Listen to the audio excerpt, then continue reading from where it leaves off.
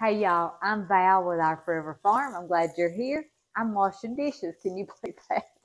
No, I was fixing to grate some cheese and uh, my food processor was dirty. So it was in the dishwasher waiting to be washed. So I need it. I love freshly grated cheese. Today we're making a cabbage casserole and it, it'll be extra special on that. I think I'm going to split it up and share with some friends because it's just the two of us here and we won't eat the whole thing. I've got my apple butter going. If you saw that video, I can't talk. It's storming here. It's really, really bad. Tornado watches are out everywhere. I'm hoping the power doesn't go off where I can get this cooked. Let's get to cooking. I need about a cup of uh, grated cheese, but I'm thinking I'm going to go ahead and just cut this whole block up and go, you know, where I'll have it for other things.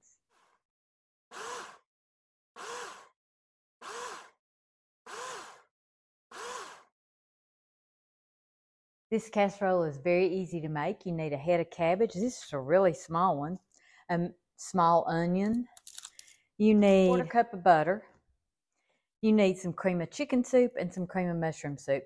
If you don't have either of those, you can use cream of anything. You also need some salt and pepper. And then for the topping, you're going to have Ritz crackers, Another, the other fourth of the cup of butter, some cheddar cheese, and that's it. So the first thing I'm going to do is just chop this cabbage up.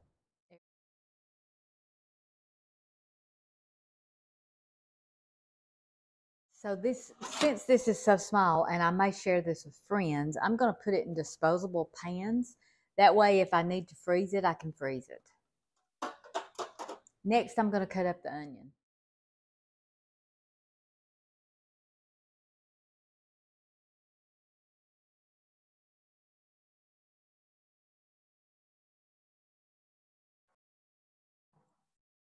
Now I'm just going to sprinkle the onions on top.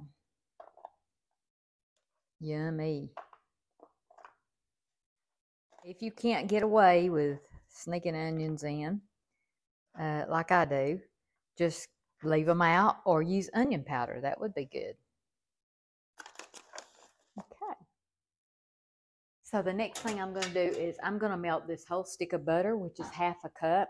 We're going to use a fourth of a cup in the casseroles and then uh, another fourth of a cup with the Ritz crackers. So I'm just going to melt it all. I love butter. So one cup of melted butter, and I'm going to pour it, half of it, over my casseroles. I almost would pour the whole thing and just melt some more, but that's what it calls for, so I'm going to do it. No, I think I'm going to go ahead and pour the whole thing over it. Make it good. I melt some more for the Ritz crackers. So now we're just going to sprinkle some salt and pepper over the casserole.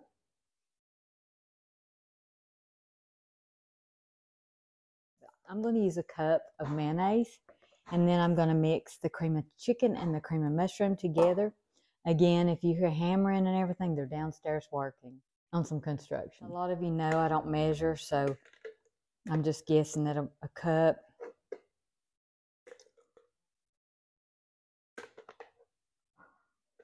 You can use more or less, whatever you want to use. I think mayonnaise makes a lot of uh, dishes good. Now I'm adding the cream of chicken soup.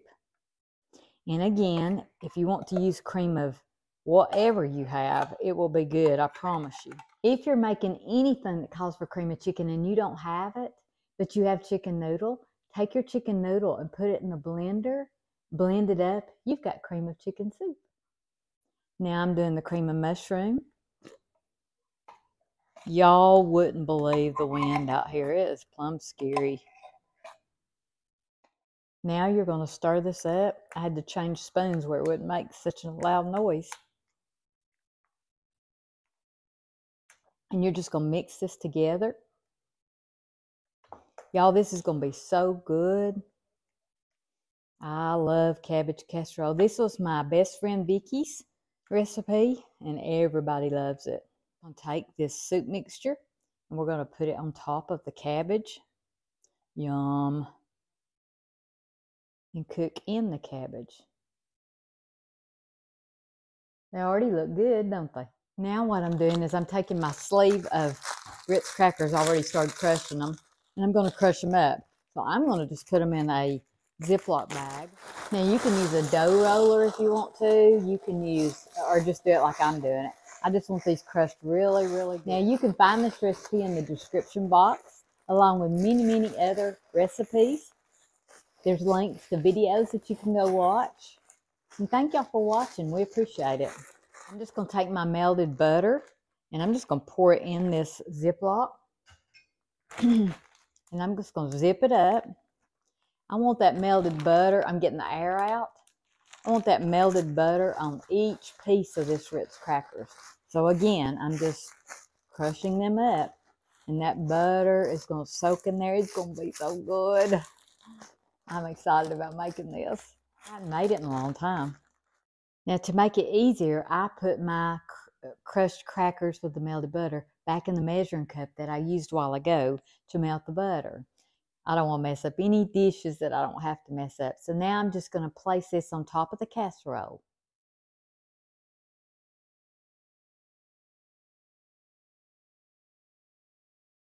Don't that look good? That's before it's baked.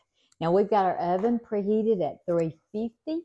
I have set this in a pan because I'm using two smaller pans. If it does run over, I want to make sure and catch it. I don't want to mess up my oven. Preheated oven at 350. We're going to cook this. If it was one big casserole, we would cook it at uh, about 45 minutes. I'm going to check it at 30 and see how it looks. So if you're wondering where the cheese is going to go, you can either mix it in with the Ritz crackers, which I forgot to do, or you can just sprinkle it on top when it's about done and that'll be good. That's what I'm going to do. Mm.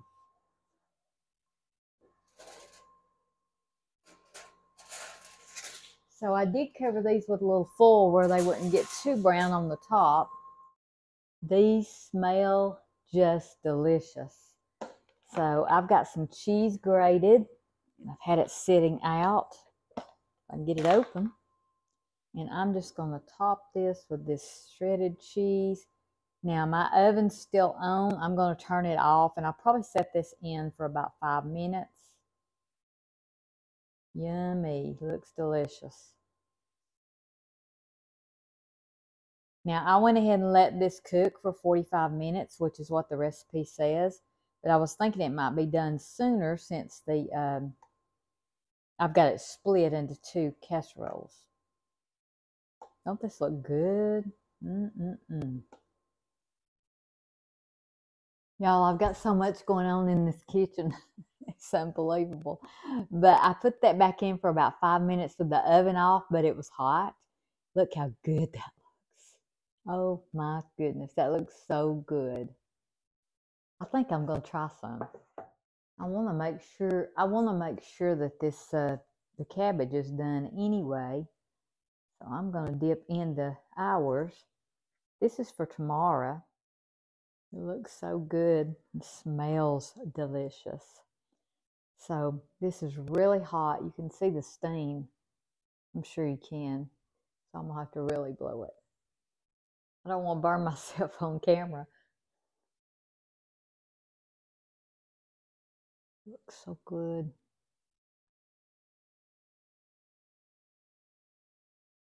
Mm-mm-mm.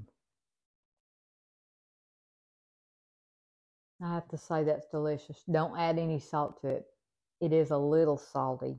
That cheese probably made it a little too salty along with the soups. And then I added the salt too. So if you don't like salt, you may want to leave the salt off since you've got the cheese and the soup.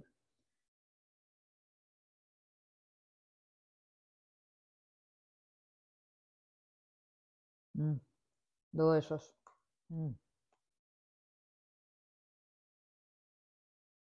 I could eat that all by itself.